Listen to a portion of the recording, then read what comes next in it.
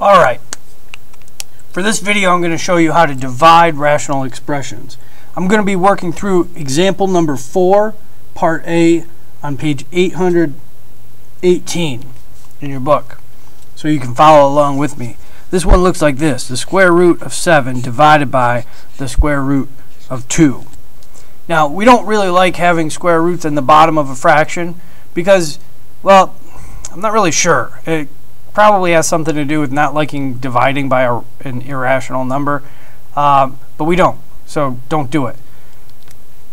This is a division problem, and what I'd like to do is I'd like to turn it into a division problem that doesn't have a square root on the bottom. So we call this rationalizing the denominator. It gives us a, a denominator that's a rational number. Now, whenever we uh, do something to a fraction, um, we need to make sure not to change the value of the fraction. So I can multiply the top number by 2, but I have to multiply the bottom number by 2 as well. Why I would do that is anybody's guess. I don't know why you would want to do that. But uh, for us, what I want to do is I want to multiply by something that's going to turn the square root of 2 into something that's not a square root. The answer for what that is is it's the square root of 2. The square root of 2 times the square root of 2 is just 2. Now if I multiply the bottom by that, I have to multiply the top by the same thing, or else my fraction is going to have a different value. The square root of 7 times the square root of 2 is the square root, and we multiply the numbers under the radical. So 7 times 2 is 14. That means that the square root of 7 divided by the square root of 2 is the same thing as the square root of 14 divided by 2. Now we like it this way, it's preferred this way.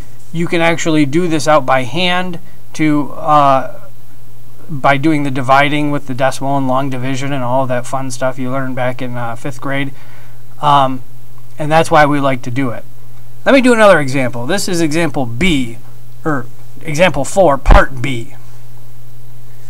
This one is the square root of 7, again, over the square root of 8n. So one of the things that we like to do when we're simplifying square roots is to simplify the radicals on the top and the bottom first. The square root of 7 I can't simplify because 7 is a prime number. That's just got to stay like that. But 8 is 4 times 2.